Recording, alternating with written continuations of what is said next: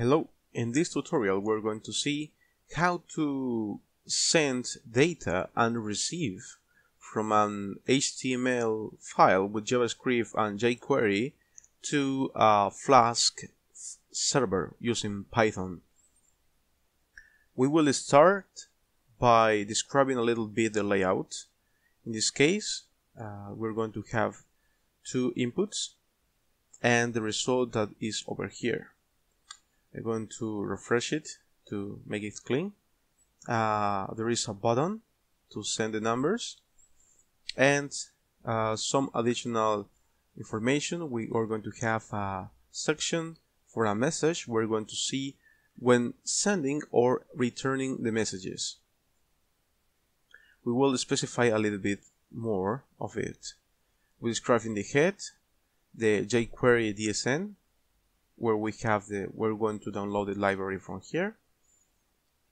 Later on we have a variable with the IP address. In this case I am, I am running Flask in the same computer. The default Flask port this opnum variable is going to be the one that we are sending from this HTML file to the Flask server we defined some default uh, values over here in this case the key sum which will hold two numbers 3 and 4 we describe it or we're going to send it in a dictionary form because of this com its compatibility with a JSON format. Later on, we have the function update bar that will get the values from these n1 and n2 fields, uh, turn them into floats. We could also do this in the Flask server. We are just doing the, them this here. And uh, we are putting these values in the opnum variable with the sum key. Following this, we have the function of jQuery in order to continuously be analyzing if something happens or not. It's, this uh, doesn't work only at once. Later, we we will evaluate if this sum ID, which represents the button over here, is going to be clicked or not. If so, we have this up there variable over here that will provide the path for the application or function that is going to be executed in the Flask server. We define some default messages for the sending and receiving the data. Later, if this uh, send button is pressed, we're going to update the values inside the variable that we are going to send. We are going to see it in the console.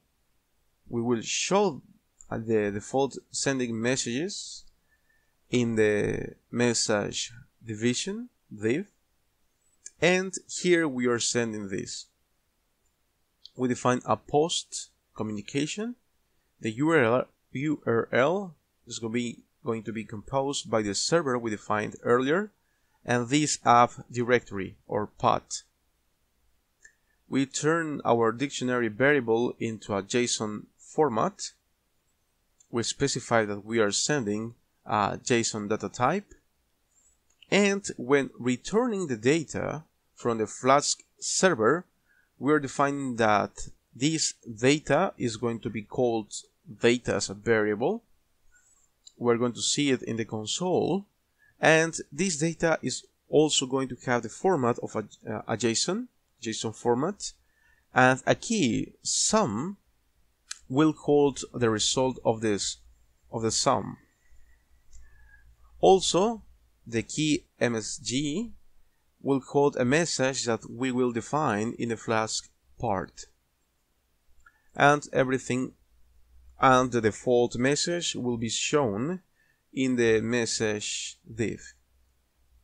So let's take a look at the Flask server code. We define the libraries from Flask, the request and jsonify. This is the default way to start the Flask server.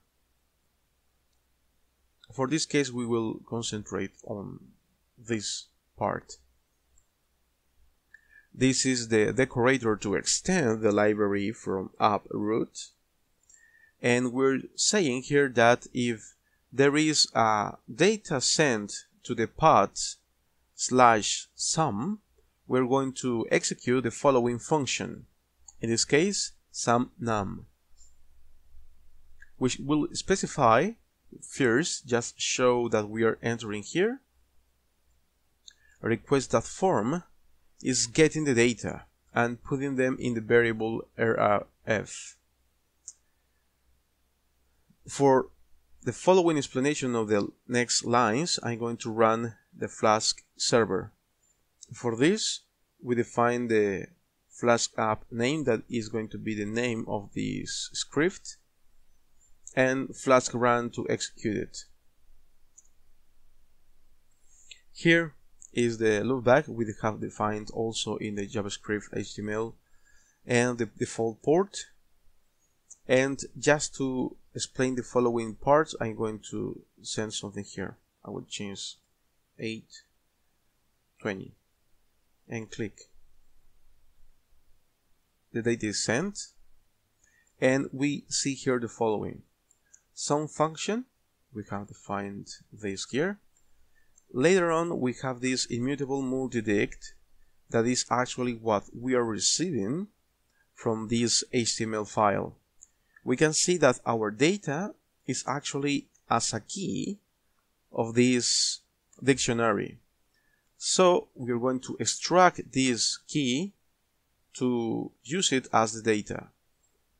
For this, we define this loop over here that basically we're getting the last key in this dictionary to transform it as we our data variable. Later on, we see the data. For this case, sum, the dictionary in a dictionary form, and this array of 8 and 20. We turn this JSON format into a dictionary and we see the keys of the dictionary for Python.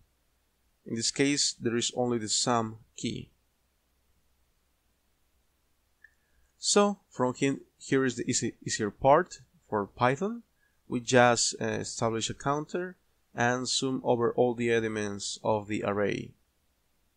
Later on, we define a dictionary with carrying that the result in sumd in with a sum key and a message we define over here, sum performed. Later on, we transform this dictionary into the JSON format, and this last line over here is to allow the communication between some server elsewhere. In this case, this JavaScript HTML file is not in the Flask server, could be anywhere else, like in a blog or in another application. And if we were going to hold this HTML file with a Flask server, this last line wouldn't be required. And later on, we just return the response that we have processed. And we can see that actually we get the result and we can update this with new numbers.